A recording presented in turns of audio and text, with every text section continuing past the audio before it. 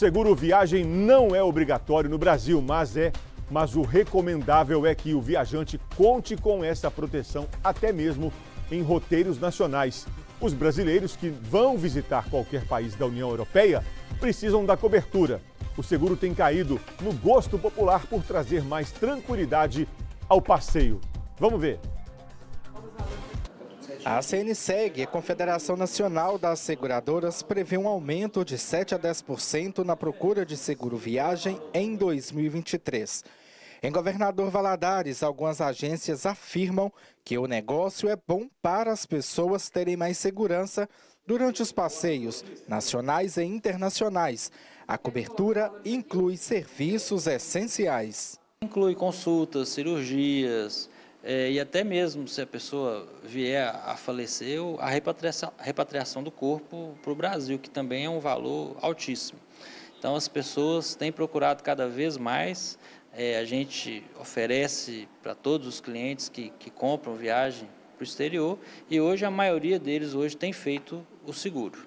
O seguro viagem é obrigatório em vários países. Só nos seis primeiros meses de 2022, conforme os dados divulgados pela CNSEG, houve um aumento de 230%. Essa popularidade vem subindo e triplicou-se comparado ao mesmo período de 2021. A retomada do turismo é o principal impacto positivo para o crescimento.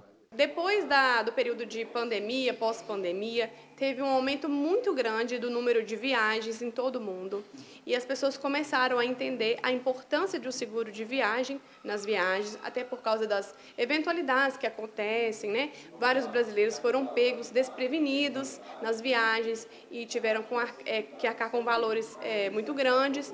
Então, as pessoas começaram a entender a importância real do seguro de viagem. Então, cresceu bastante o número de viagens e, consequentemente, cresceu também o número de procura por seguro viagem. A Cacilda ama viajar com a família, mas para não ter nenhuma dor de cabeça durante o momento de descanso e diversão, ela opta por incluir no pacote o seguro viagem.